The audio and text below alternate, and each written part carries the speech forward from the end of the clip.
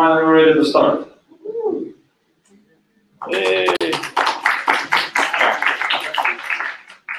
Okay, if you hear people yelling here or there, they're not our speaker, they're for the game. Kind of game which is going on, so we'll have to deal with that. So I'll give the brief introduction and then I'll introduce our teacher speaker.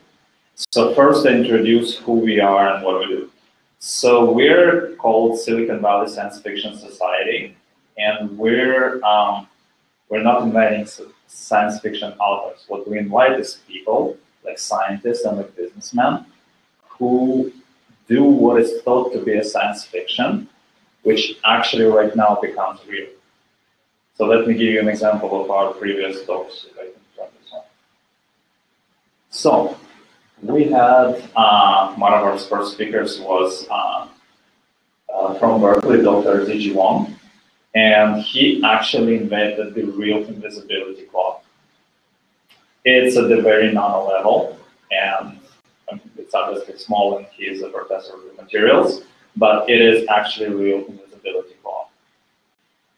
Then we had um, a businessman, Adam Curry. So he, and this was actually a controversial talk, he created an app which is trying to prove that something which is called collective conscience exists, which means that whatever I think and whatever you think, there is something collective. And he wrote an app trying to prove that there is some collective mind. That it was controversial, but he presented it and we even did an experiment, which did work.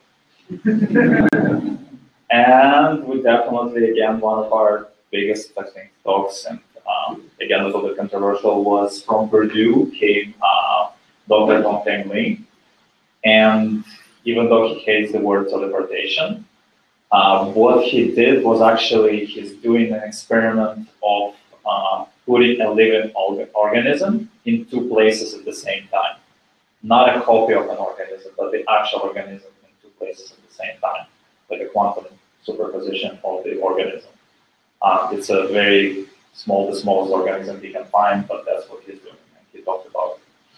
And of course, our biggest talk was uh, the international superstar, Dr. Aubrey de Grey, who is also hates the words immortality, even though that's what most people associate him with, um, who is working on uh, what he's calling reverse reversing aging, and the SENS organization is actually Mountain View right here, and that was very impressive. So um, let me give you some examples of what science fiction does on the modern world. Who knows who this guy is? No. Any other guesses? That's a famous science fiction writer, uh, Clarke. Exactly. And what he did is he actually wrote about this. Anybody can guess the year? 1968. In 1968, in his book, he described exactly iPad, which then one of the guys from Silicon Valley implemented. Um, even though you cannot see in a very small Tim Cook over there, presenting the earbud headphones which we're not going to talk about today, even though people very controversial. Anyway, who knows who invented earbud headphones? Who knows this guy? Of course, that's Ray Bradbury. And he described it in 1953. He totally described how earbud headphones would look like, function like and everything in one of his books in 1953. Our feature speaker for today, for the asteroid mining. And who knows who this guy is? Oh, correct. That's Jules Verne. And he actually described it in 1877. So you can see how science fiction has an effect. Or should I say it's actually the other way around? People read science fiction books, and this is how they get an idea of what the next step is, especially in Silicon Valley. This is how it works. And what we are here trying to prove, and this is why I invite many of our speakers, that if you think something is impossible, there's a lot of examples like time traveling, a lot of examples from science fiction. Right now, we live in a very unique point of time that modern technology and modern level of science allows us, even in a small kind of a portion, to do something like this. And in fact, almost everything is possible. By the way, on the um, time travel, there's guys in uh, Australia who did an experiment and they actually sent a very, very, very small particle into the past. I'm trying to invite them for a talk, but it's not real because they're from Australia.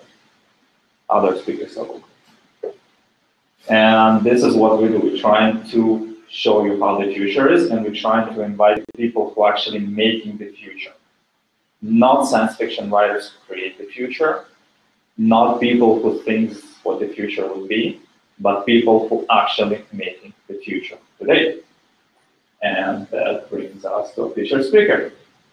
And we have an upgrade for you guys. So instead of the chief engineer, we actually have the CEO of Deep Space Industries, Daniel Faber. Daniel?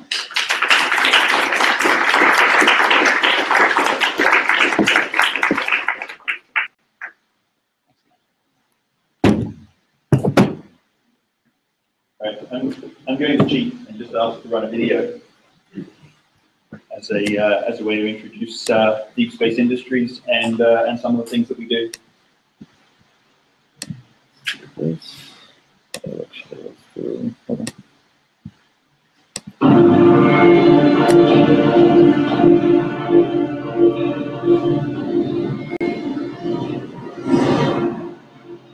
Space Industries is on a quest to open the solar system, using the resources of space, in space. To begin this quest, we are launching Prospector X to demonstrate our revolutionary, yet rugged PSI technologies in low Earth orbit.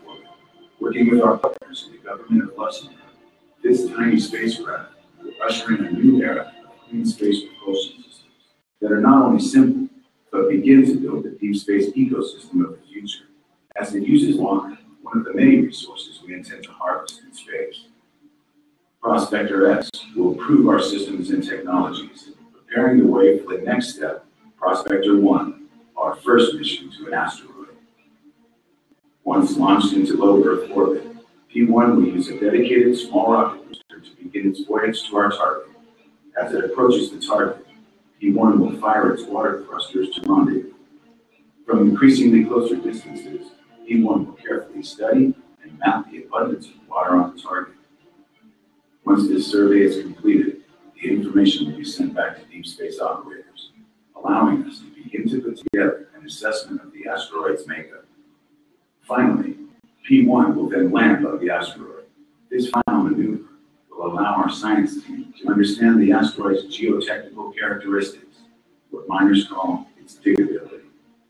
Most importantly, by its physical contact, P1 will establish the first commercial base on a space object, and from its new foothold, P1 will, at least for a while, broadcast its location, allowing Deep Space Control to keep tabs on our first active research outpost.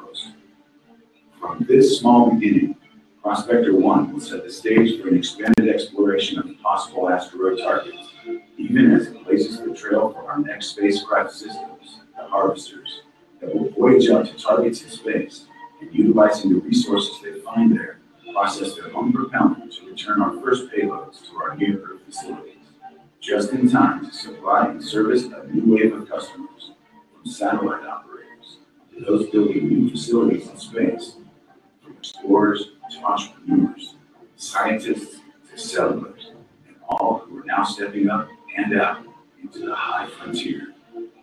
It has been said that if you can dream it, you can do it. And so we are. We are Deep Space Industries. It's not just our name, it's what we do.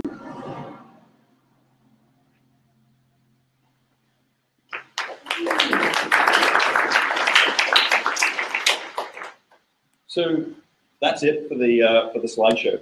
Uh, everything else is me. I'll spare you anymore. Um, let's see. January 21st, 2009, I got fired. Um, yeah, January 1st, 21st, 2009. Um, I got fired by the CEO that I'd hired to run my first startup company. Um, he also fired himself and everybody else.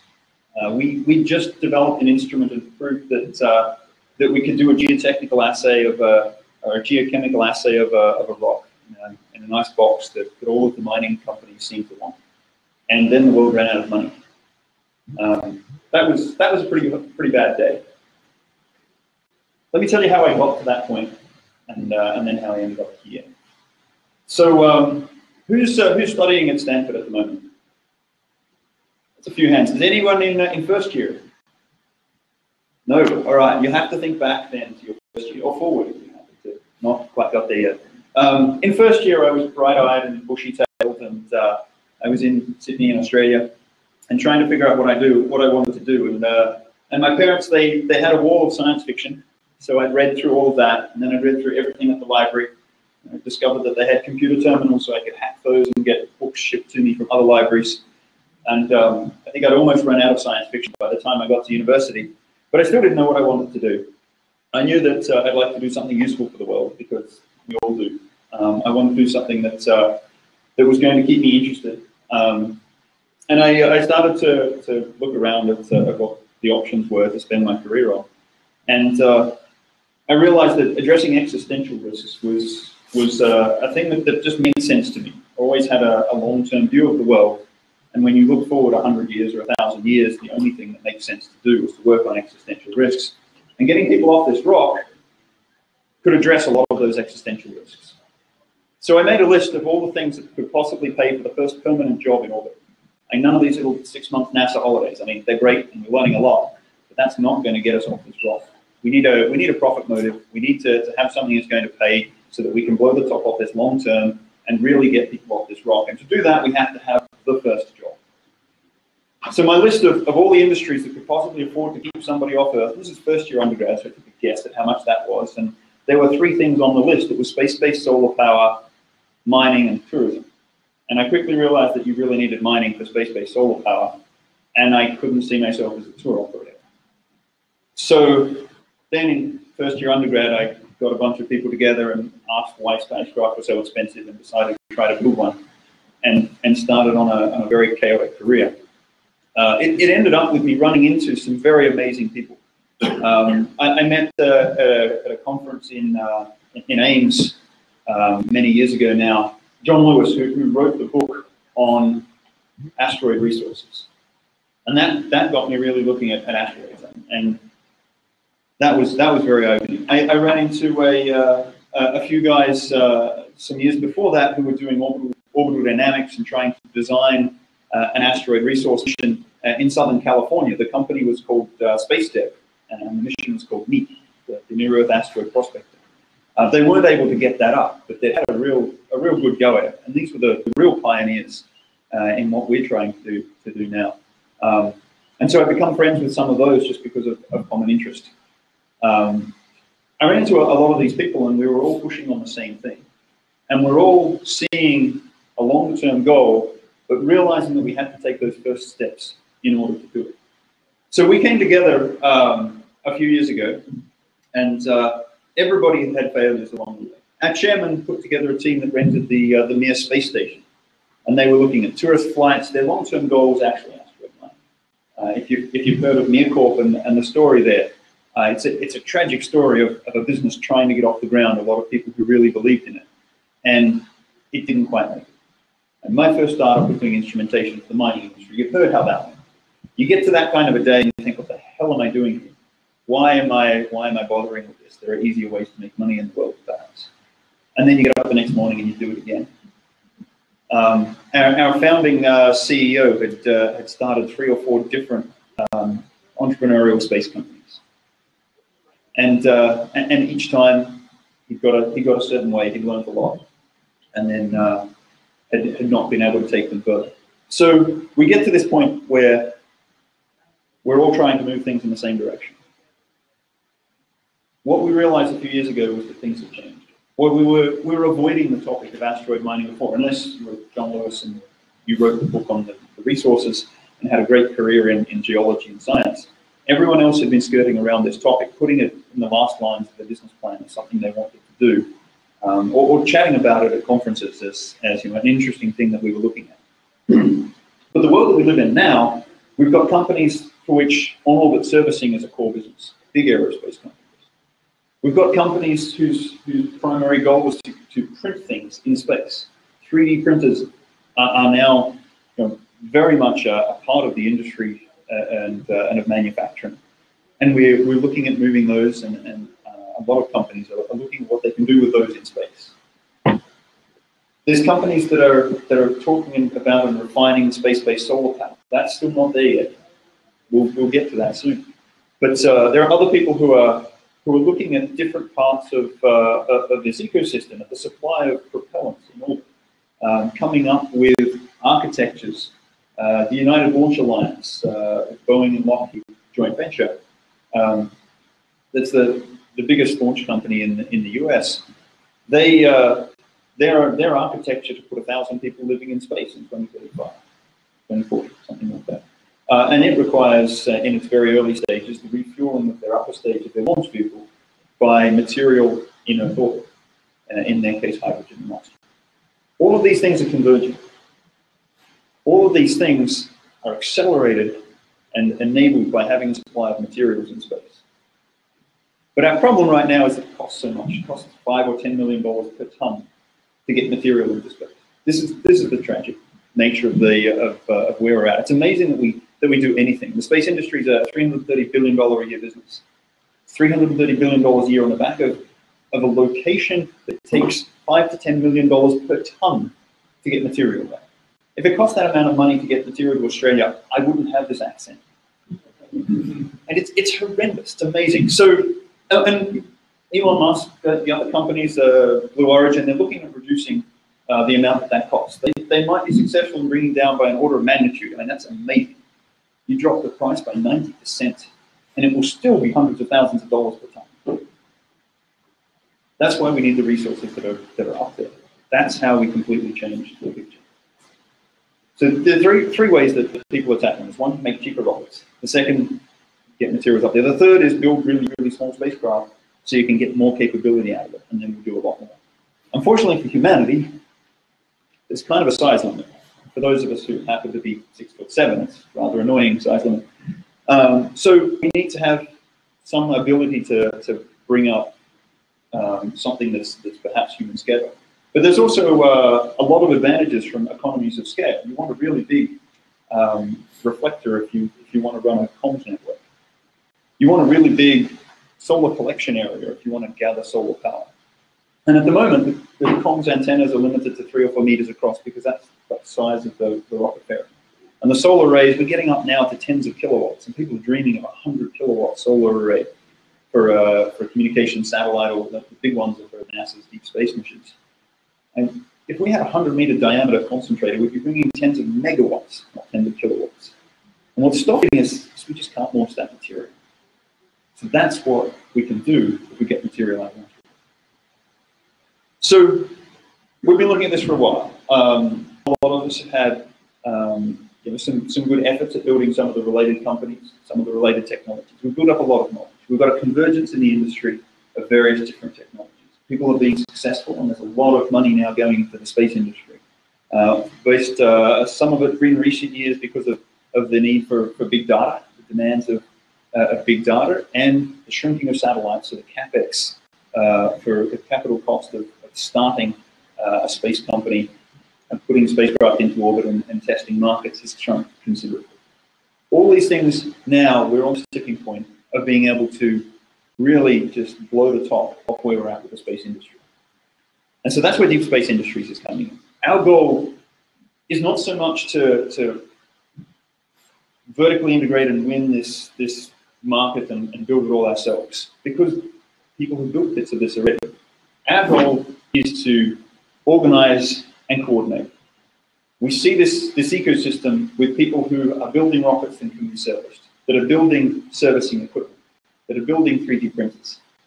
But there's a gap in propulsion systems that can use the propellant that comes from an asteroid. So we built a tiny little propulsion system that runs on water, because water we can get out of. Now, step back. Um, a lot of people have, have thought about platinum and, and um, those kind of high value materials to get those from asteroids. We did a lot of economic analysis on that. Let me just tell you it's a non-starter. Um, the, very quickly in the economics. Uh, on Earth, if you've got uh, one part per million of platinum, one gram per ton, um, you can probably start a mine if it's near the surface and near some infrastructure. If you've got 10 grams per ton, that's an incredibly rich ore body, and you could go underground and mine that. Um, on the asteroids, we have 30 grams per ton is not an uncommon number. In fact, some of the, the meteorites that we have as, as samples have up to 200 grams per ton of platinum. Now that's fantastic. The contained platinum value is several thousand dollars per ton of asteroid material. But that doesn't close the business case. If you look at water and consider we might sell that for half or maybe even 10% of launch cost, something like that. And the asteroids, there, there are a lot of asteroids and samples that we have that are containing 10 and even 20% water by weight. The contained mineral value of that water is hundreds of thousands of dollars, up to a million dollars per ton, compared to the platinum at several thousand dollars per ton. And platinum is really hard to extract. It is a really difficult process to get platinum out of things. Water is pretty easy, and you heat stuff up and water comes out. It's, it's a little more difficult than that, but it's definitely a hell of a lot easier to platinum. So we're after the easy thing that's worth a lot. One day we'll create these byproducts perhaps and we'll ship them down to the earth. But all of our products are looking to supply an in-orbit market. We're not looking to bring anything to ground. That's where we start. So we start with water, then hydrocarbons, which we can turn into plastics for 3D printers, uh, nickel and iron in abundance, which again, 3D printers, manufacturing, that's what we're going to build the, uh, the, the, large um, solar concentrators and radio dishes and tanks and structures in space to, to really enhance the existing markets. That's the material that we're going to build the space stations and the hotels and the stadiums that run the first Olympics. That's the material that we're going to use to build the cities in space. Deep Space Industries' goal in 30 years is to provide the equipment and material needed to build cities in space. That is where we're going. And we bootstrap that by building a really small thruster that runs on water, because we can sell that today. Then we build a bigger one and a better one. We need a thruster that can return material from the asteroid. And if you don't, if you don't get propellant from the asteroid, you're not going to bring much back. It takes a lot of fuel. So we have to use a propellant that we can extract from the asteroid. We need to put so much propellant through that thruster. It's going to move thousands of tons of material back to Earth orbit. That's a bigger thruster in terms of total impulse and, and push than any thruster that's ever been built before. That's our development path. And we start with this tiny little thing because that's what the market is. Then we move to the next thing and the next thing, and we build that up. So that's the that's the path we're going. A whole bunch of other technologies. Those technologies we sell. The future is always there driving that, that, those technologies. We go out and we saw the, the video Prospector 1. We run that mission. We've now got a resource assessment in hand. We go to the mining industry and say, we have this resource assessment. The international community and, and uh, led by the US government is passing laws that, uh, that talk about uh, the right to own material extract and uh, the possibility of secure tenure of an area that, that you're investing in to, to understand what that material is. You take that secure tenure and your knowledge of that material to the mining markets. They understand mining risk. They understand mining you know, geology risk. Um, but they don't understand technology risk. So we go to NASA, we go to the European Space Agency and say, here's our roadmap. Here is where the, the distributors of communication services see their market in 10 and 15 years. Here's where the um, content operators, this is what they need in order to win that market. They could be enabled by these resources here's what satellite manufacturers, SSL down the road, Boeing, Lockheed, Airbus, here's what they need to provide in order to fit with that material and solve that customer's problem. Here's the technology we need to build. The governments are really good at putting money into technology. The VCs in Silicon Valley are really good at putting money into markets. You've got a technology that works. The investors in Toronto and, and Sydney, in Canada and Australia, are really good at putting money in when you don't quite know what your geology is. So you go to the right people, divide up the risk into what they have an appetite for, and then work through to a, to complete business. This is part of our end-to-end, how do we manage this ecosystem to, to, to create it? And how do we fill the gaps that are missing? So if we can find a provider that, that, that had waters that, uh, thrusters that could run on water, there's no way we get into that market. If it was missing, we'll step in and create that. If we can't find a, a manufacturer of a, of a printer that can use nickel and iron and print in microgravity, step in and build that. Find one, we'll buy it. If there's anything missing. But can the outputs of one uh, match with the inputs of the other? So the geologists who are, who are looking to, uh, and planetary, uh, planetary geologists, planetary scientists, who are looking to, uh, to find out about the origins and evolution of the, uh, the solar system. And the, the missions from um, you know, Hayabusa, uh, Rosetta, uh, OSIRIS-REx, which just launched, uh, Hayabusa 2, which, which launched six months ago. These, these missions are going out with science questions. The outputs from those questions are really helpful for the geologists. They, they reduce that geological but they don't answer the questions that a mining engineer needs answered. They don't tell you about diggability and rock mechanics. You saw that mentioned on that video for a reason. If I try and stick a shovel into the dirt on an asteroid and it bounces off, I'm in trouble. But if I stick it in and it's all fluffy, pull the shovel out and everything just flows off, I'm also in trouble. Okay, I've got to be able to design my equipment to the conditions that are on the asteroid. So can we put those questions into the minds of the scientists? Can we piggyback our instruments on their missions? We couldn't see that, so we're doing our own mission. But then, of course, we can turn that around and ask the scientists, what would you like to know? Here's the space that we have. Here's the instruments that we have. Here's the data that we'll get. We could use a hand mapping this. We could use a hand with the spectral characterization. I think we did spectral characterization of the uh, uh, of the asteroids before we get there. We've got great discovery rates on uh, on near Earth asteroids. We have telescopes on the ground that can get a spectral characterization, but we're not dedicating them to that task. So our database has a bit of a, a lack there. That's something that scientists are interested in. That we can then go to the government and say, look, here's a here's a commercial path, and here's why this is needed in 10 or 15 years, or because it's an input to the prospecting, it's needed even sooner. Can you help us out with, with a science question? That's how we're, we're sort of starting to, uh, to organize this ecosystem. So that gives you an idea of, of how Deep Space Industries is, is working on things. So the path from, from reading a lot of science fiction to, uh, to deciding that, that this is something that we can achieve and, and I might as well have a go at it, uh, which are a lot of people have uh, done, to, to, finding all of these people like-minded who are working on different bits of the problem and, uh, and managing to, to surround myself with, with geniuses. Uh, it's just, and, and then putting all of this together in a business model that seems to make sense. Uh, it's it's been an interesting ride. It's it's resulted in a lot of moments where I wanted to quit, uh, where it made sense to quit, and I didn't. Um, and everyone on our team is, is in that. Um, so to everybody here, um, this is one problem. What we what I've what I've laid out is the path that Deep Space Industries is going down. It's, it's my personal path. It's, it's the personal path of, uh, of everyone in our team. But there is so much that needs to be done. From the, the, the on-orbit printing and servicing to finding new business models, one of the most crucial things, how do we grow that market? To, uh, to putting together uh, lower cost spacecraft at larger scale. Um, to figuring out how we're going to live, to, to getting the tourism industry off the ground. One of my realizations about uh, a few years ago, I'm, I'm a little slow, probably only a year and a half ago, was that we were going to lose the race miners are not going to be able to create that first permanent job. It's going to be the tourism guys. You get up there, you have to have somebody open the door. You have to have somebody with a fresh baked loaf of bread who flips you around and teaches you how to do the zero G thing. It's part of the experience. For mining, it's all robots. It's robots until it gets so complicated that you need a human to step in.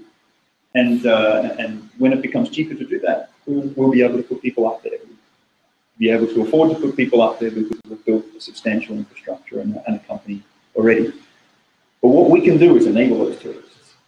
We can enable the tour operators. NASA's buying water from the International Space Station for $10 million a ton. Now, they can only buy that at one ton of it because that's all the, the company that has that equipment can supply from the waste products they get uh, from NASA. Um, but that's that's something that, that we can bring from the asteroids. Would you like a swimming pool as part of your experience? Can you imagine this sphere of water kind of wobbling around? You blow a bubble in the middle of it, You sit in the middle of the bubble, in the middle of the sipping your martini from your funky zero gravity glass, looking at the Earth and the moon is kind of shimmering out there. I, I want that experience. swimming pool, an Olympic-sized swimming pool, contains 25,000 tons of water. What? Million dollars a day? Not gonna happen. But what if I can bring it back for you? Tell me how much that experience is worth. Tell me how many tickets you think you can sell. Tell me what price I've got to hit. And I've got this curve that says how long is it going to take until we can get the price down to that point. And I'll tell you what year we should start going on that business. What else can we do? Yeah, you get the, the first people up there, they're going to want to play sport, try and sell the rights to, uh, um, to the first microgravity sports, all right? Space is a great pool. Everybody wants to see what happens. So you, you manage to sell some TV rights. Now you've got a revenue stream that could justify sending a, a, a professional athlete, which you've just named Stanford professional athlete, to go up and, and play sport. Now you've got something for your tourists to go and see. So now you've got to provide a stadium and, and or at least some seating and a large enough arena, and now you start running competitions. Now you've started to bootstrap a whole industry up there because you've got people that you need to be up there permanently to make sure this works. You cross the threshold of having those first permanent people, and they want to improve their lives. So every step along that way, you're going to need materials. That's where we want to be. That's what we want to, to help enable. And then, in 30 years' time, when that's scaled up and we're building cities, I'll come back here and give a talk and I'll tell you about all the other moments that I got fired or that the company almost fell apart because this is going to be a, messy process. And there'll be other people who do the same. But you know, maybe I'll invite you up to Stanford's Orbital campus and we can do it there.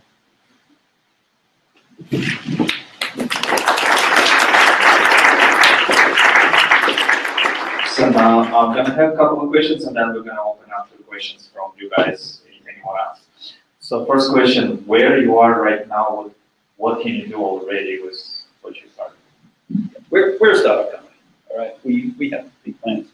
Um, we're, uh, and you, you saw, we're looking to launch a, a CubeSat, a three-unit CubeSat, Micro 6, um, next year with uh, propulsion system, optical navigation, power electronics. Um, we've also um, sold a bunch of satellites to commercial customers because it turns out that the propulsion system didn't exist. And we spent a year and a half trying to buy a propulsion system for microsats so we could send something to an asteroid and nothing could buy. Um, so that's that was a, a market opportunity. We've, we've got those four launches next year. That's you know, for us. That's the thin end of the wedge. That's the proof that our business model actually has some uh, something to it. The resource assessment, I mean, that's uh, sort of three years away until we, we get that resource assessment in hand. We're then seeing the uh, uh, the results on, on rock mechanics and, and mineralogy verified uh, on the ground on an asteroid. Um, so that's the that mission is already in design. Um, we're looking at uh, passing you know, through some of the, the design reviews. It's using the water thruster, so that's already um, you know in uh, in testing and shipping flight units at the end of the year. Uh, it's using the optical navigation system that's flying next year. All of these things are converging. So we're already working hard on that mission. As we go beyond that, um, when we start to look at running um, technology demonstrations for, uh, we need to, to reduce, remove the technology risk for extracting the material and for processing that material. So we have the process flow sheet worked out with a lot of test work, and it's all thermal, physical, um, uh, chemical type processes. Uh, and we have to test the processes, the processes we know on the ground, but we need to test them with asteroid material, we need to test them on orbit with microgravity, and then we'll be satisfied we can go out and actually run a pilot plant on the asteroid. Same with the extractive technologies. So we've got a, a lot of things that we're working on on that. Uh, we're looking for partners on that because there's a, lot of work to be done. Uh, similarly, for Prospector 1, we're still looking for partners on instruments. But um, that's that's a lot of work that, that we're currently doing. I'm not sure if that is the question. Yeah, yeah, yeah, that was a great answer. Um, another question, you kind of mentioned it. Um, so the probably leading person who's trying to set up a colony on uh, Mars is Elon Musk. How do you see, and you talk about it, did you contact him or how do you guys fit into that plan? Yeah, so we've, we've chatted with him a bit, and he's not going to baseline what we're doing into his architecture if it's adding more risk. Uh, he's announced that he's going to, well, he originally announced he was going to Mars in 2026. Now he said 2024. Um, I'm always impressed when people try to slide things to the left. We'll see how he goes. The, um, but uh, to, just to, to explain the kind of difference that it could make with what we're doing, a, uh, a Falcon Heavy is supposed to be launching something like 50 tons into, uh, into low Earth orbit. Uh, people here probably know the numbers better than I do. Uh, you put 50 tons into, into Earth orbit, um, you can probably get about uh, five tons down to the surface of Mars, something like that. Um, now that's, that's a decent amount of mass. You can do things with five tons. But if you can fuel up the upper stage in Earth orbit, then you can take 50 tons to Mars orbit. Right? Let's say a whole bunch of that is parachutes and heat shields and what have you. You've got 25 tons on the surface of Mars. That's, that's a substantial building. Now you're, you're talking a real advantage. If you've got an architecture that can do it with five ton modules, then buy yourself a cheaper launch vehicle, save money, accelerate the program. So it makes a huge difference to have just just propellant, just water, or in uh, you know, if your thruster is using hydrogen and oxygen, which is United Launch Alliance, take the water and split it. If your thrusters use methane and oxygen, well, we have hydrocarbons, and that's not a difficult process. We can make uh, methane and oxygen. These are all possibilities. So we're aware of what Elon's doing. He's aware of what we're doing. Um, we would like to insert ourselves into that architecture, but we need to reach a level of maturity and, and provide a level of certainty before he's going to. And the last question from me. You, you kind of mentioned that, uh, that you're concentrating right now on water and maybe other materials, but does it make economical sense? And do you see a use case for actually mining gold and platinum, and what will it do to the economy if you actually do that? Yeah, so we have a great number of samples of, um, uh, of the asteroids thanks to the meteorites. And because we have reflection spectra, we can match the, about 60% of the asteroid spectra can be matched to one of the 19 um, classes of, of, asteroids. That gives us some idea that those asteroids have at least a, fairly homogeneous surface. We build on that a model that says they have a fairly homogeneous interior. That model needs to be tested. But um, so that lets us, it gives us some uh, some certainty about what, what is out there and what we can go after.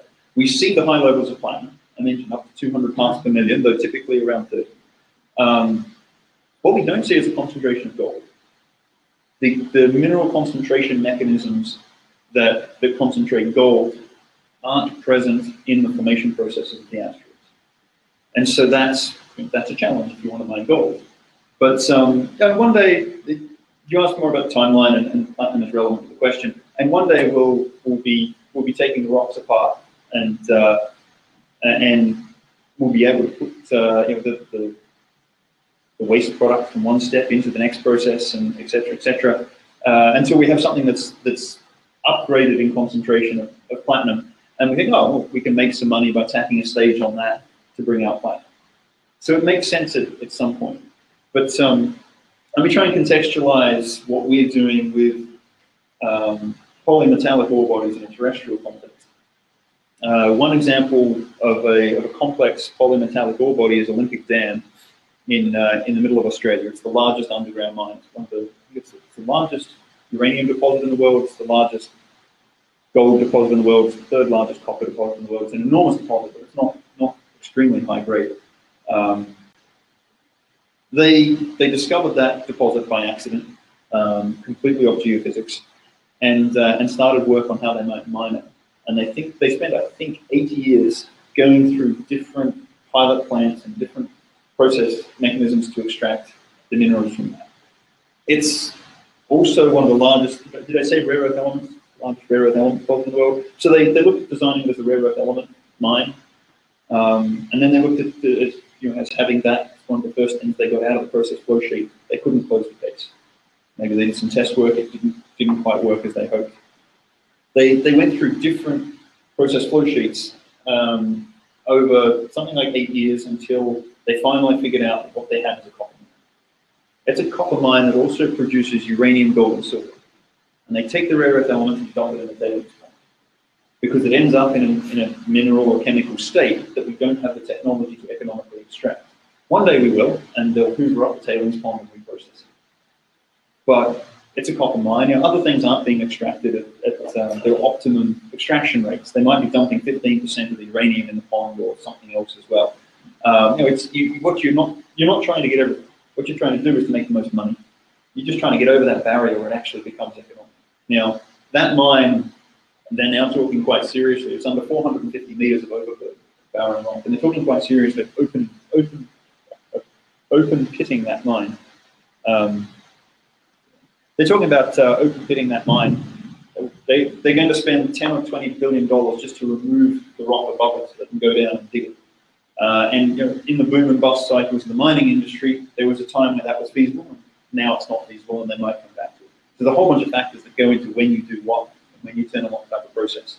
So our process flow sheets don't even consider platinum, they won't gold, or anything else right now. We're just worried about water, hydrocarbon, nickel iron. Thank you. Okay, so anybody has a question, this thing is not long enough, can you come kind of closer to here? Sure, just line up here. Yeah. We'll start with this question. Um, if I remember correctly, there is this thing like a universal space treaty or some sort where basically no single entity or country can own privately a part of the moon or the rest of the universe. Does this pose a problem to you and your goals? Yeah, th- thankfully it's not the rest of the universe because I'd like to buy a house one day, um, at least on the ground, if not on the moon. Um, but no, the, the Outer Space Treaty is uh, of 1967 is the uh, is the, the sort of one big international uh, piece of, of international law um, that, that is that governs what nations do and how they do it, and uh, it requires that every country oversee the activities of its actors, of its individuals or companies it forbids the country from appropriating or, or declaring sovereignty or anything like that on celestial bodies. It doesn't define what a celestial body is. If I can move an asteroid, then it's not real estate. Because real estate is something you can't move by definition, terrestrial definitions. So there's a there's an option for interpretation. And all of these, this is, this is the law. It's all about how you intend to interpret it. Now, in the Western system, or in the US and British and Australian and Canadian systems, uh, they're case law. So it would be up to a judge to basically make a determination on what that was. Um, in the Napoleonic Code, the French system, it's, it's subtly different. But because this is international law, you also have things like uh, um, customary international law, where if people just start doing something, then it kind of becomes law because people have done it. And, um, and so there's a whole bunch of ways around that. So what the US has done last November, law was passed that um, allowed asteroid mining companies to own anything that they extract, specifically US asteroid mining companies, it's a US law. Um, the response has been largely positive to that. Um, the Luxembourg and the UAE are known to be writing their own legislation, which is expected to mirror that fairly well. Uh, we know that there are discussions going on with other countries. There are high-level discussions. There are um, international fora where lawyers get together and, and, and talk about that. And because there are now private companies in this space, the conversation has changed. So, um, so one, one thing is, can you mine what you, can you own what you extract? The US law says yes. Second thing, and, and important for a mining company, is do you have secure tenure on the minerals that you've just proved out? You've invested an enormous amount of money, or you want to, to prove that these minerals exist and that this is a good place to mine. If you want to go and get that financing, no investor will put that money in and have someone come in and, and say, oh, that's great, thanks for that information, and take it. So secure tenure is, is an important part. Don't need ownership, doesn't have to be permanent, a whole bunch of caveats on what that needs to be, but it needs to be a transferable asset that the company can then buy and sell and list on a balance sheet. So that's something we expect will evolve out of the regulations. It's a tried and true part of, of all mining regulation on Earth. Um, so it's natural that that will happen. Um, we, we're waiting with bated breath to see what it actually will be. Uh, but it, it should be solved well before um, we're pulling materials out of the asteroid. Uh, we expect it will be solved in the next couple of years. All right, so uh, in sci-fi land, there's utopian and, and dystopian sci-fi, and you know, especially with asteroid mining and these massive solar uh, solar power arrays, where you can harvest, you know, basically unlimited amounts of power, distribute it anywhere then on the planet instantaneously. It seems like a, a strategic imperative for uh, militaries in, you know, on, on planet Earth? Um, How do we, how do we avoid bad things happening? Yeah, good question. Um, how do you avoid bad, bad things happening in, with any technology and, and with any context? Um, and, and the answers are, are difficult. And to be honest, the answers are political. And a lot of the reason we have uh, politicians is to help us not be at war. And sometimes they succeed. Um, the, uh, and it's, one of the reasons I love the EU. They've been 100% successful in the only job that they have. And that's to stop another army marching across the continent, blasting everyone away. This is what they used to do every 50 years. And they haven't done it for 70 years. So go to the EU. Everything else might be is completely arbitrary. I prefer the bureaucrats to come and kill me with paperwork than for an army to come and kill me with a gun. Uh, and they went through a lot of that. So um, how do we how do we avoid that? Um, the Outer Space Treaty was written specifically to uh, alleviate that risk, uh, and that's why there's a lot of provisions like no appropriation and, and those kind of things. Um, so the, the But way nobody's the ever broken a administrative- treaty before. Sorry. But, but nobody's ever broken a treaty before. and that's and that's and that's the careful balance that right, the world must uh, you know, must navigate. So one of the things that, that we were very strong about when we when the, the US legislation was getting written, and, and we were consulted as were other companies, um, we were very adamant that this had to not um, kick off an international backlash. So it mentions three times in, in only like 30 lines long or something. It mentions three times the Outer Space Treaty and, and it's very deferential to the US's obligations under the Outer Space Treaty. And that, from our perspective, was quite important. And we can't take any credit for that. It was mostly the State Department and, and the US government, um, you know, the, the, the, the staffers and the politicians who were, were negotiating that. Um, but that's important because then when it went out to the international community, there wasn't a backlash. And that's, you know, you've not raised the temperature, you've not got the world any closer to Armageddon. Excellent. Everything we have to do has to be mindful with that. So, you know, unlimited power and, uh, and everything else, um, we have to be very mindful. We have to put in place um, operational constraints uh, and, those kind of things that are going to, you know, checks and balances that are going to limit the ability to, to A, to make any mistakes, B, to have any misunderstandings, and C, to, to understand when there might be actors who are trying to take advantage of a situation and to limit it. I can't tell you what those solutions are going to be, but being mindful is, is super important. One part that I will mention on this, which is slightly related, um, mining companies, when they go into a, a place to open a new mine, um, they're very cognizant these days that they need a social license to operate. Uh, and those words, social license to operate, mean that the, the, the stakeholders, the, the locals particularly, but the community, um, does not think ill of them and has, has effectively given them a license to come in and operate because you know, if they don't want you there, they will sugar down your gas tank or lock your gates or tie you down in litigation and find a way to stop you. Uh, but if you go in and say, look, we'd like to build a mine, we think you've got something interesting under the ground here, we need to have workers at this mine. And we much prefer to have locals because they won't go away. We'd much prefer to have locals, we need to train them. So we're going to build a school and we're going to train everybody so that some of you can work at the mine. And we're going to bring in experts. But then we want external experts to come in and help you and help run the mine. And so we want them to be happy as well. So we're going to build hospitals, okay? And we're going to employ people in construction. And you go down the list of all the things that are going to happen and say, okay, so would you like a mine? And if you explain this well and you have uh, good intentions and you've done your environmental impact and, and you've, you've done everything properly, you'll get your social license to operate. The locals will say, yes, please, come and come and set up the mine. And by the way, I like the idea of royalties. Uh, and, and that works out well. Our society, our, our community is global. And so one of the parts of getting a social license is to make sure that we are considering what the risks are and that we're taking into account everything that we do, as well as explaining the benefits. Would you like a cell phone network drop from a geocomsat that's got a 100 meter diameter antenna? Okay, I can set you up a cell phone network in three minutes if there's any disaster. That's not a bad thing for the world. Okay, if we go as far as, as space-based solar power, massive potential to, uh, drop power in wherever it's needed. These are good things for the world. There's a whole bunch of things that, that are like that, that, you know, it's our job to communicate and, and win that social license to operate.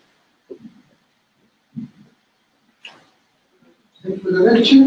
Uh, you mentioned uh, repeatedly rather dramatically how the company you work for and many other company spend money, fail, another money, uh, business. It's very uh, risky proposition. You mentioned a better, easier way to make money. Uh, can you elaborate at which stage uh, and how they are failing, uh, and how in optimistic scenario you expect not to avoid this way? Thank you. Yeah, great. You could ask that of any entrepreneur in any field. Um, so my first company, instrumentation for, for the mining industry, was terrestrial mining. Um, though the idea of a, a non-contact geochemical assay came from my work um, looking at uh, lunar and, and asteroid uh, surveys. Um, and companies fail for, for a lot of reasons. The reason that one failed was because the global financial crisis took the money out of work. And uh, we had the biggest mining companies calling us, you know, asking and begging for this equipment because they had poor quality control of mines. They wanted uh, they wanted exactly what we're offering, and we said no to them because we needed to scale our um, our our system by three orders of magnitude. Uh, we thought it would take us a month or two. It took us three months. We called them back, and they loaded up on debt. The uh, the economy had changed, and they were ripping themselves apart. And they wouldn't even give us enough money to move the equipment back to the university to keep the research going. Um, so yeah, you run out of money as a startup. It's like running out of oil in the engine. It's not running out of gas, it's running out of oil. It seizes up. Everybody loses the company. We did well by everybody. We found them jobs. It, it, it worked out. It worked out okay for everybody involved, but the company was not able to continue. That's just a, a risk of, of doing business, and that was a, sort of macroeconomic thing that blindsided us. It's uh, it's important to try and figure out how many of those there are and try and mitigate them. There's a lot of risks all the way up and down this business.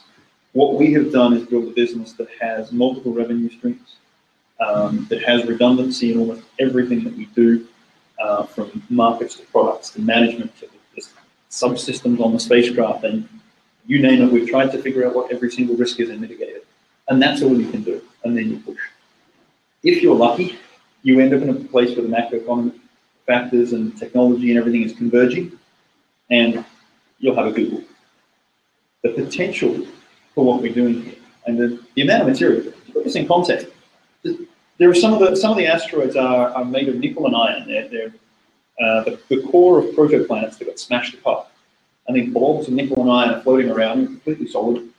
Um, there, there are near-Earth asteroids, orbits near to the Earth, but uh, some of these metallic uh, asteroids are in the smallest ones, two and a half kilometers across. That asteroid contains more metal than has ever been mined in human history. That's a single two kilometer diameter metallic asteroid. There's enough material just in the near Earth asteroids to support 100 billion people. And we're worried about running out of, running out of resources. Talk about what running out of resources means, but we're worried about our, our resource situation. We support 100 billion people just from the near Earth asteroids, and that's before you even get out of the main belt. So it's not like we're sitting on a small opportunity here.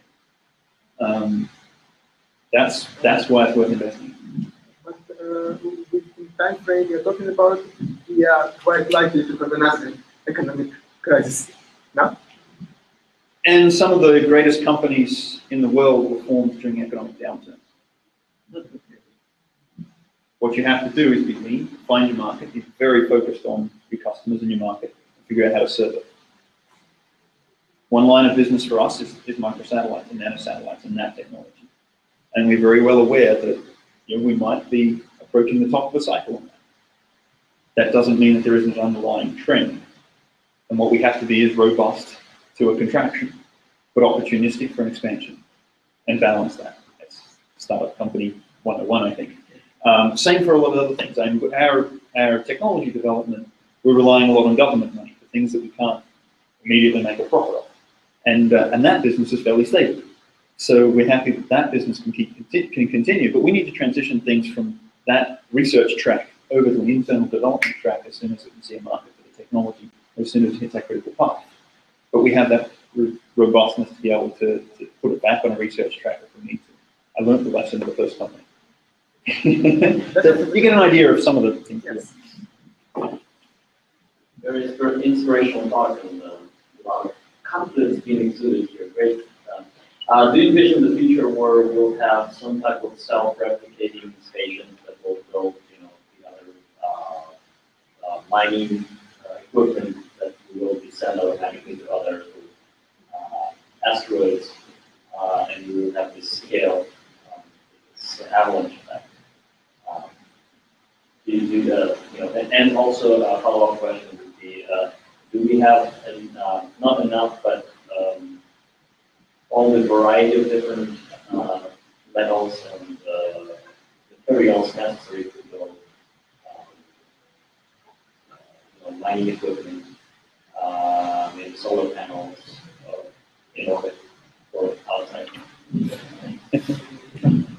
Um, yeah, I can, I can answer the first, so the second question really easy. Um, everything you find on Earth is in the asteroid.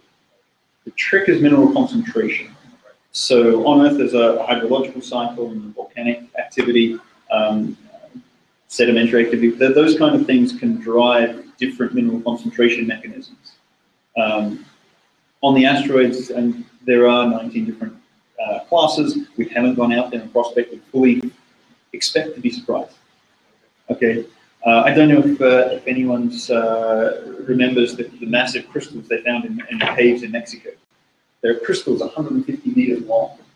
Um, enormous, enormous things found under the under the earth. Right? This is the earth. I thought we knew everything about this place.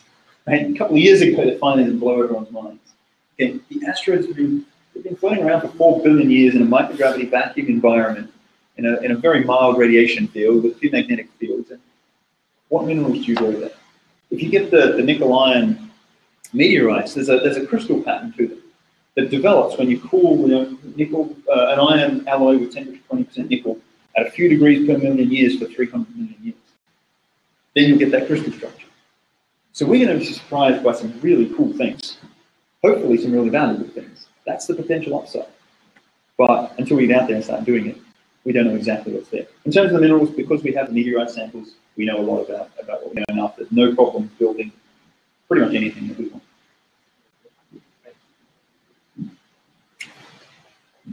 Uh, so, uh, yes, it sounds uh, really attractive to, uh, to uh, use whatever you have mined uh, up there, uh, on the, on the outlet or somewhere up, up there, because now the the prices are very high to, to, to, to get into.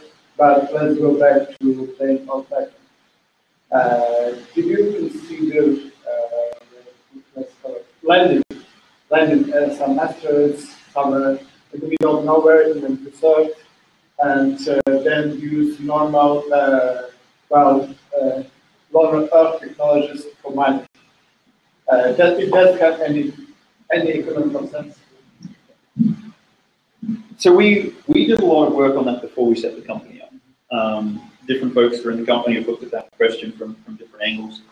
Um, there are bringing bringing stuff down has technical challenges, has political challenges, um, Environment. environmental challenges. Um, it, it has the economic challenge of the price point and the fact that um, you're competing in a market with, with aggressive terrestrial operators as well. So we looked at it. We decided that it was sub-economic. We found something that, that was a lot more attractive. And that's where we started. One day, when we've got the, the operations going, um, then we may tack a, I mentioned before, we may tack a stage on the back that takes the output, which is because we've taken a lot of things out of it, it's upgraded in its platinum content, and we may decide that at that point we can post process platinum. We might find something that's so rich in platinum, as I mentioned, we'll be surprised that it makes sense. And uh, until we get there, we don't know. But um, I wouldn't hold my breath on those. I'd expect that to be 20 years away.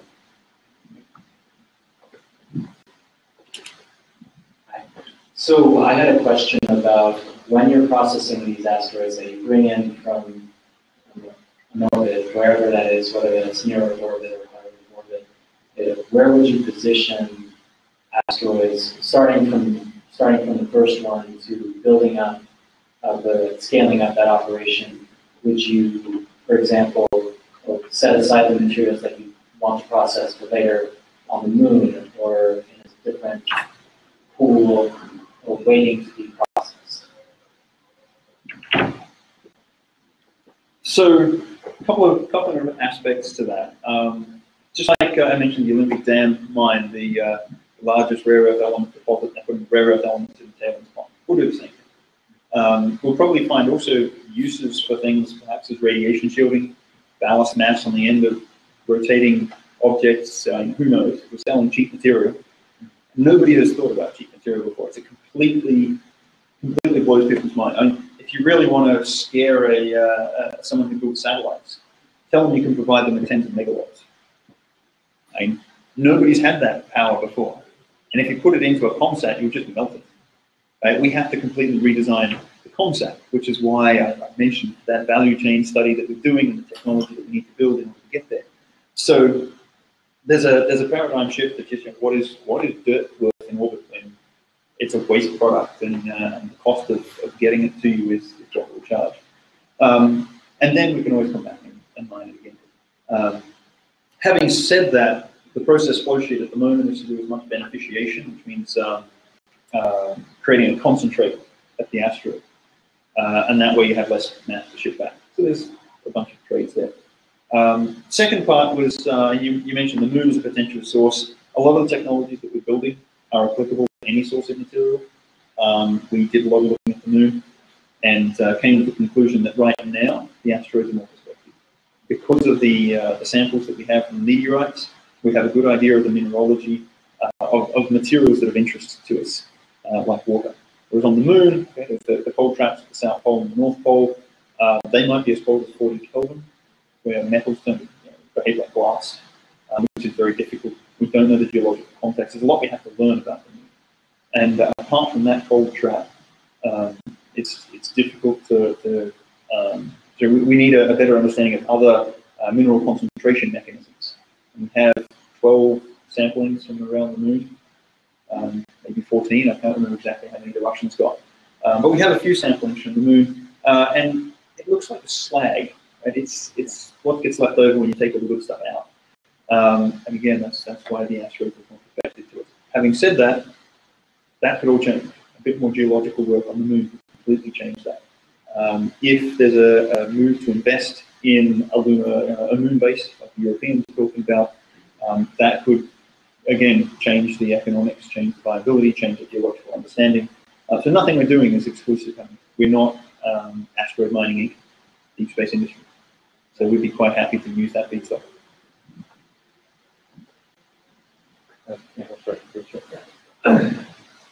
Actually, that moon exploration was, uh, was uh. So, uh, uh, we can elaborate a little bit more about the feasibility analysis. For example, yeah, there's no much uh, uh, meaningful material to be mined, but considering uh, considering the like the technical viability, because uh, everything this is the whole picture. You have the uh, medical consideration, but that's uh, you have the, um, the the profitability, you have the feasibility, technical feasibility. So, for example, uh, moon this is a known target. However, asteroid is a, is a further like the orbit is a further way to reach a rendezvous point for your for your rover for your spacecraft to approach it. This is way more like a few magnitude um, more difficult than than the than landing something on the moon. So considering the technical difficulty being increased by that much, uh, so um, uh, the, the probability of being a you know, mining might be worse, not so meaningful to the asteroid. But what is the weighting uh, overall uh, optimization in your thinking? Yeah, so let me start by simplifying some of the things that you said earlier. We see five big risk areas. Um, geological risk, technology risk, market risk, financing, financing risk, is there enough risk capital with this appetite, and regulatory risk. And in the mining industry, that's called uh, country risk. So do you know what your tax rate is? Is it stable? Do you have a competent board? All that thing. So five, five risk areas. Um, when we look at the moon, I mentioned already the, the geological risk there is high because while we understand a lot about the moon, what we don't understand is any interesting mineral concentration mechanisms. I shouldn't say any. We don't understand a lot of uh, concentration mechanisms. We don't have any sampling at the South Pole, um, and, and we, we, we're missing that material where we think the concentration is. Um, so there's a, a lot still to be learned. Whereas with the asteroids, we have a vast number of meteorite samples which we can match based on the spectrum. So we're confident that our um, geological models of the asteroids are um, sufficiently mature that um, it, it gives us a, a high level of confidence, a lower, a lower risk. Um, you mentioned uh, access, and um, there are there are expected to be about 55,000 near-Earth asteroids, so asteroids that approach within 0.3 AU of Earth's orbit, um, that are over 100 meters diameter. We know now of 15,000. Of the ones that we know of, 10% of those, about 1,500 of those, are energetically easier to reach than the surface of the moon. They require less delta V. Some of them dramatically more. So it takes less rocket fuel, and if rocket fuel is money, and for the first missions, rocket fuel is money because we've got to launch it off the ground, then it's cheaper to get to the asteroids. You also don't have a gravity well, so you don't need to descend on a pillar of fire and have seven minutes of terror, or however you want to describe it. You just kind of dock with it. You mosey on up, and um, and so that seems a little bit easier as well. You don't have to have that entire stage. You just have a, a fairly low thrust uh, thruster system. So getting material there, bringing the material back, it's cheaper and less technologically difficult, and we understand the geology better. All of those things push it in that direction. Now, I could give you a list on the other side. I don't have to because I'm promoting asteroid mining. But on the other side, I there, there are pros to, to the moon as well. Um, not the least of which is that it's three days away and it's always there. Um, but balance of things, we, we believe the asteroids are much more prospective right now. Makes sense. Thanks. Some more questions on this? Hi, um, I just want to know what are the most top big challenges, technical challenges that you guys have on, on like in the sheet? And um, are you guys having any plans on collaborating like with organizations like NASA or like SpaceX on some of these uh, technical challenges? Biggest technical challenge, rock mechanics. The, uh, all the samples that we have have been, have come through the filter, the great filter above us. Um, they've had to come in through the atmosphere and burn off their layers. So the odds are that the, uh, the asteroids are a lot more friable and, and there's a lot more soft material that just hasn't reached the surface. Um, some of the hardest rocks that we have are meteorites, but that's probably very much a selection bias. So we need to get to the bottom of that. Um, uh, and that's, so that's, that's our biggest question. How, how hard is it to dig? What is the unconstrained compressive strength, porosity, grain density, grain size distribution, and there's a long list of things that, that we wish that we had. Um, but then there's a there's a bunch of other questions. Um, the technology then related to that, you know, how do you how do you design equipment to dig that? Um, how do you design instrumentation to measure it? And that's a huge thing. And uh, we also need to know more about the mineralogy and everything as well. But, uh, scientists are interested in mineralogy and develop a lot of, good instruments for that. Scientists are less interested in rock mechanics and therefore there's there's a bit of a dearth of instrumentation, uh, especially for the kind of missions that, that we're able to fly in very small spacecraft. Um, and then when we get into process flow sheet, mean, there's there's 12 steps in the flow sheet. There's all the material handling steps as, as you get different products coming off at different stages. Uh, we've got to test all of those on the ground. We've got to test them in microgravity. Um, there are some that are uh, that we're pretty sure we've, we've got leaked, and then there are some that aren't. And of course, we'll build the equipment and we'll find it up in a way that we didn't expect. We'll find that there are deleterious products that can poison the process. That some things are slower, that our extraction percentages are, you know, our, our yields are less than we wanted. Uh, we've got to work through all of that. Um, so, example of the partnerships we're looking at, some of that work on um, the process flow sheet stuff has been done already by a guy at Imperial College London. So we really want to partner with him. Um, the there's a whole bunch of work being, that's been done at Kennedy on uh, lunar regolith, and they're also very interested in asteroid regolith. Um, so University of Central Florida have some of that knowledge, and we're partnered with them to build asteroid simulators. Um, because there's not enough of the, of the friable, uh, volatile-bearing type meteorites that we're going after first to get the water out of, they deteriorate very quickly in an Earth environment. So you've got to see the fireball race out over frozen lakes or desert or whatever it is and pick them up. So we've got a, about a, kilo, a kilogram of of two or three different subtypes of that. Uh, but we need tons through our, our process test, our, our, and processing equipment of our trial plants. So we're making asteroids in it. Um, NASA just bought four tons from us for about a million dollars. Uh, so NASA's also interested in this for testing their instruments and various things as well. But that's a partnership with University of Central Florida and, and Phil Metzger, who's the genius out there on so much about um, how to work with, with rocks and, and those kind of materials in a, in a space environment. Um, so yeah, we're, we're actively looking for that. We're developing optical navigation system at the University of Luxembourg. Um, that's, that's a technology partnership. Um, yeah, we, we are supporting what a lot of other folks do, or at least promoting it. In, uh, uh, made in space, 3D printing, love what those guys are doing. I don't know if you're familiar with Acme Advanced Materials. Um, they've got a, a process for uh, a um, manufacturing process that has a step that requires a microgravity environment. They're trying to prove their technology out. If they can prove that, then they can crack the nut on actually using space as a production environment. Then they'll need materials and we can start scaling up. I mean, it's, it's about this, this convergence. So there's a whole bunch of things that are happening on that side. Um, but yeah, our, our strategy is all about partnerships. So tell me what you do and I'd love to. Okay, the last question. I think I would like to ask one more question. It's going to be quick. Okay, why don't I have questions? Uh, yeah, and I'm fine with quick answers, just a I'm not sure I'm Sure. capable of quick Yeah. answers.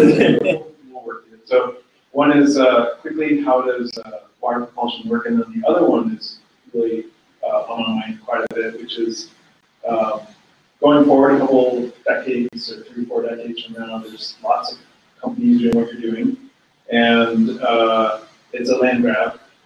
And there's the risk that the more irresponsible ones of them can, uh, veer the trajectory of a asteroid and maybe imperil another planet or Earth. So, you know, speak to those, that Yeah, absolutely. Um, let me start with the second question. Um, so what we're doing with the, the regulatory environment and looking at how uh, that all checks and balances is very important for that. Um, I'm not worried about a land grab. I mean, there's 1,300, 1,500 near-Earth objects that we know of that, that meet our easy to reach and of the moon bar. And there's, there's I mean, the irresponsible behavior. yeah, so, um, yeah, that, that's a matter of doing the right checks and balances and, and making sure that the things run well. Um, just like any other industry that has the, uh, the potential for, um, for, for bad consequences on the earth, be it environmental or, or loss of human life or, or what have you. And there's a lot of industries that are well regulated and well run. This could, this could wipe out a planet. asteroid. So we're not proposing to move an asteroid. Uh, we, we want to bring back, you know, maybe a thousand tons. No, but you should rockets, uh, attached to asteroids. Oh yeah, that great artwork, isn't it? it's not happening. no, that, that artist is fantastic.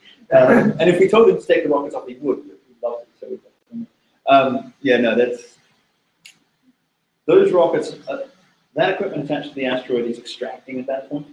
It then departs and uses those rockets to return. Those rockets trying to push that asteroid, and you're not going to move. But all you very have to do is change its trajectory. And then, and then wait for a very, very long time. Yeah, sure. Um, but, you know, if- if we're tracking all of these things, we know where they are, we can see that they're changing. Um, and then we've got also the capability to respond. So, you know, the best defense is being able to to respond to it. Um, but I, I want to be very cognizant that there are risks and. And then I've forgotten the first part, oh, the water thruster, how it works. So the one that we started with, it's an electrothermal thruster. It's basically a flying steam kettle. You superheat the water and put it out through a nozzle. It gives it about 200 seconds of ISP, which is better than a solid. Um, not as good as, a, as uh, most liquids, but um, decent performance. And it does the job that people want, which is to get their, their small spacecraft into the right orbit and then keep it all phased and do everything else. And it's easy, it's cheap, it's reliable, it's non-toxic. You can build a spacecraft around it without having to worry about catching fire. Really easy. Where we want to go with that is, as I mentioned, expanding the product line. Uh, we're talking to people who have thruster heads that can ionize the water and accelerate it, or make it plasma or accelerate it by some other means. Uh, we're looking to do the feed system on the back end, which is non-trivial. They can do the accelerator end bit thruster, which is non-trivial, marry it together with actually the product. So we're working, back to the partnerships, wherever that was. Um, we're working on partnerships in that direction. Thank you. All right. Um, electrical. Okay, you can ask any other questions after we finish. Okay, last very short question. Thank you for allowing me and, uh, because I'm the last person asking this question, I also take this opportunity to thank, uh, on behalf of audience.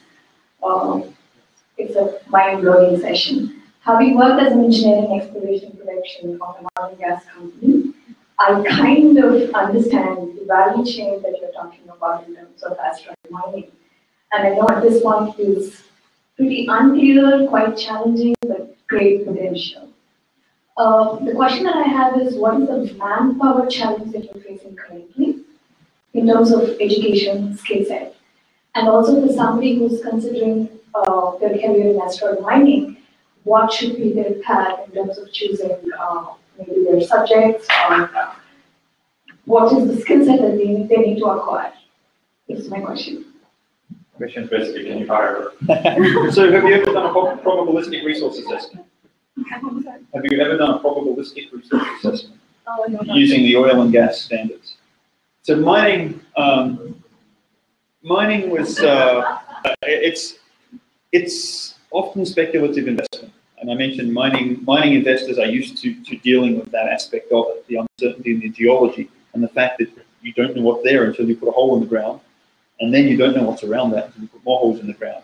And they bet on that, right? And, and uh, the odds are that they will win, uh, but there's also high odds they'll lose. Uh, I once heard that uh, the definition of a mine um, is a liar, a thief, and a lawyer standing on a hole in the ground. it's really uh, rife to, to you know, exploit that. What the markets have done, because of course the investors don't want to get screwed like that. So what the, the markets now have developed is very standardized and mandatory reporting requirements. So in Australia, it's called JORC, the Joint Ore Resources Committee. In Canada, it's NI 43101, National Instrument 43101. It's very prescriptive on how you must disclose your data. You must say what analysis method you used, how you sampled it. It goes into a lot of depth. In Canada, it's signed off by a, uh, um, a professional geologist in Australia as well, signed off by a professional ge- geologist. If they're making a false statement, you can sue them for the losses on the stock.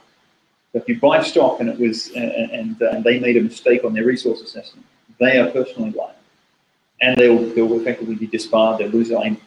There's a lot of, of uh, requirements on the professional geologists to do that.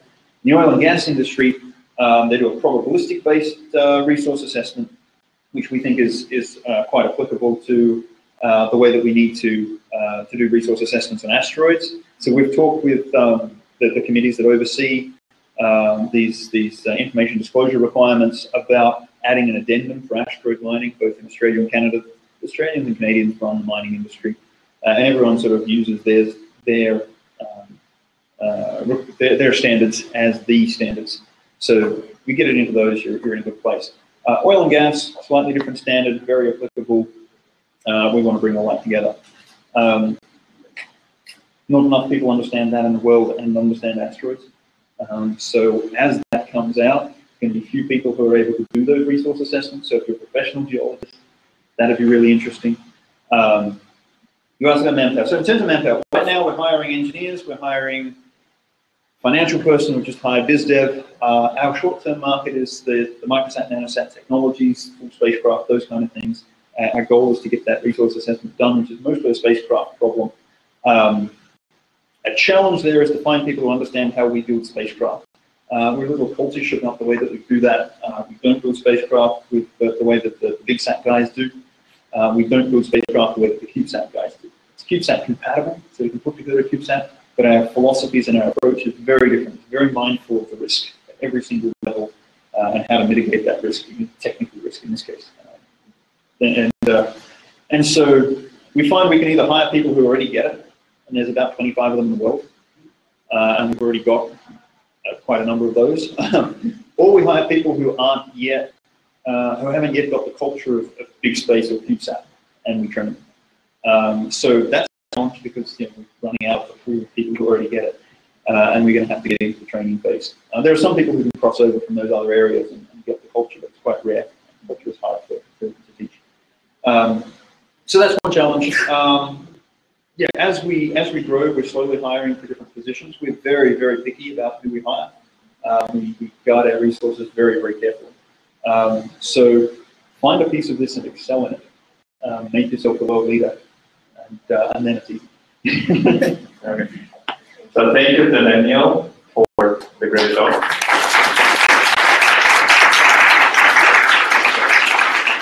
So right now focus yourself, you can talk to Daniel in private. And since we're doing everything for free, I would ask you guys, can you help out uh, to put the dates and shares, uh, to help us out, just to put it in the group. And again, thank you very much, and this is it. Lot.